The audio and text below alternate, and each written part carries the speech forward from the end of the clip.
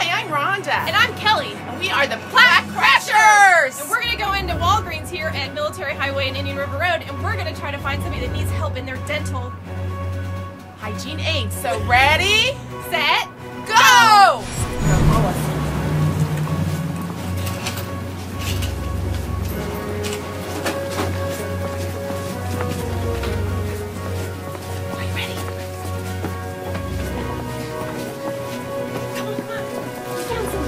She is. Oh my gosh.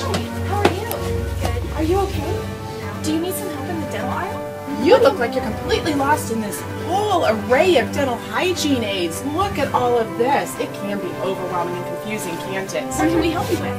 I can't floss my teeth without it being Because you have a toothbrush and you have to mm-hmm. carry it around, you have to go in the bathroom? Well, I think what we can do for you is look at all of this stuff, but I think what's going to work for you is going to be something like this, which is a interproximal brush. And this is good for all kinds of sorts of uses, including cleaning braces, Braces and embrasures. implants, bridges, and just interproximal spaces of your teeth. that so are now hard to reach. we're going to take her home with us. Would you like to go home with us? Sure. And we're going to teach her how to use an interproximal brush. Okay, so now the plaque crashers are back at our house and we are going to go and we're going to demonstrate on this beautiful little girl, Maddie, how to use her interproximal brush on her orthodontic appliance.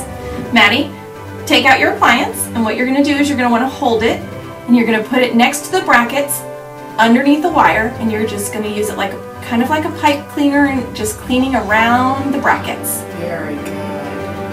Wow.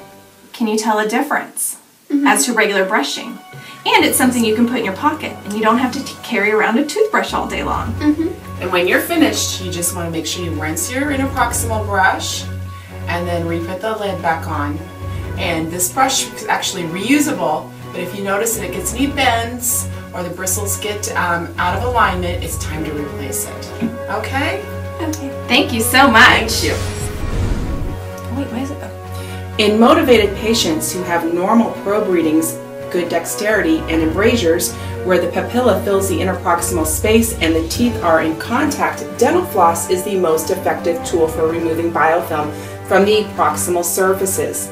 Patients with moderate to severe periodontal diseases often have recession that results in larger embrasures areas with little or no interproximal papilla and exposed concave root surfaces. These areas often cannot be thoroughly cleaned with dental floss. Patients with restorations may also require alternatives to floss due to their inability to properly maneuver the floss and or lack of patience. Because of the benefit of interdental biofilm removal and the lack of patient compliance with daily flossing, alternative methods to flossing are important. In order to use the interproximal brush correctly, when you're using it for anterior surfaces of the teeth in the embrasure areas, you would want to bring the, the brush straight on a, and go in nice and gently. You never want to force the brush into the spaces because it can cause damage to the papilla.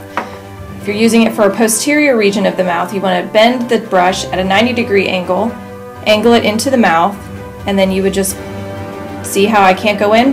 That's not a good spot for this. You would gently use it where it goes in nice and easy without any kind of pressure. When you want to do it nice and easily. Comes in different sizes. This brush here particular is used for very tight spaces. As you can see here, this is for very wide spaces.